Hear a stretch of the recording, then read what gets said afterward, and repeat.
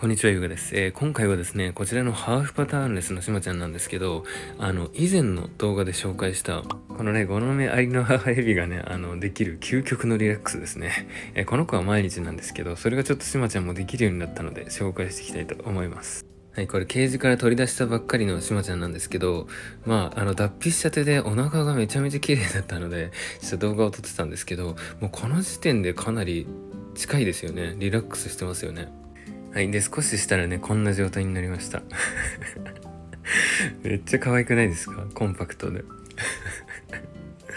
これはちょっと、あの、頭がね、上に上がってるので、リラックスしているのかなんのかちょっとわかんない体勢ですけど、とりあえず可愛いですよね。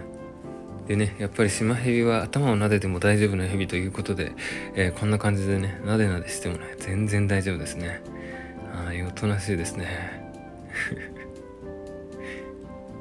でこの目アリの母ヘビがですね究極のリラックスになってる時はですね結構ひっくり返してもいけるんですね。だからこの子もねちょっとひっくり返してみたんですよ。こんな感じでゆっくり丁寧に。はい。完成しました。これが究極のリラックス状態ですね。めちゃくちゃ可愛くないですか？いや慣れてなかったらすぐにほどけて逃げるんですけどこの子まさかいけましたね。いや さすがシマヘビですね。